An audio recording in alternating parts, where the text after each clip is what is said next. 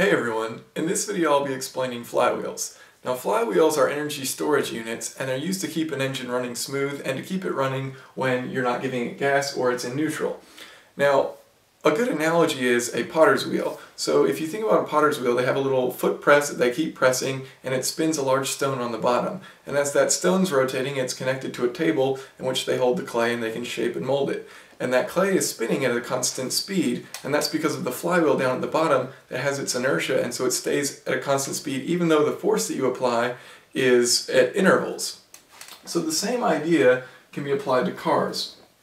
So cars have flywheels attached at the end of the engine, or attached to the crankshaft, uh, and it's the item that will be pressed against with the transmission. So you'll either have a clutch or a torque converter, and the torque converter would be mounted um, attached to the flywheel, and the clutch would the clutch plate would press against it uh, when you were trying to accelerate, or when you were engaging the clutch, rather.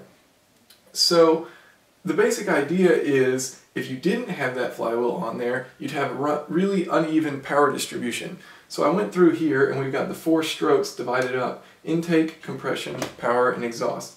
So you've got intake occurring in the first stage, your compression occurring in the second stage, and then you've got your power stroke. So your engine's not producing any torque when you're not in that power stroke, and then once you get to it, you have a peak of power. So you'd have a jerk if you were in a vehicle. Now this is eliminated by adding this flywheel. So your torque is very even.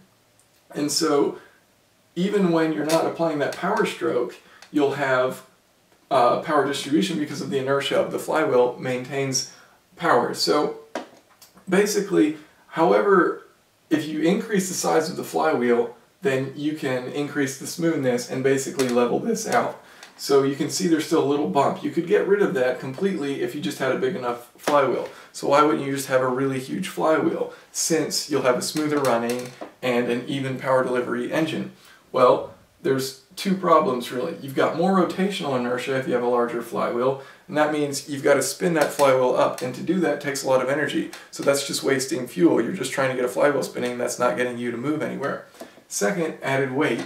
You want to keep everything in your car as light as possible just for handling purposes, for pretty much all purposes of, of the performance aspect of a vehicle. So you want to keep the flywheel weight as low as possible, but still have even torque delivery. And that's the purpose of it.